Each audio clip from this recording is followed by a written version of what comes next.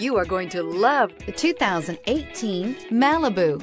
A combination of performance and fuel economy, the Malibu is a great commuting car.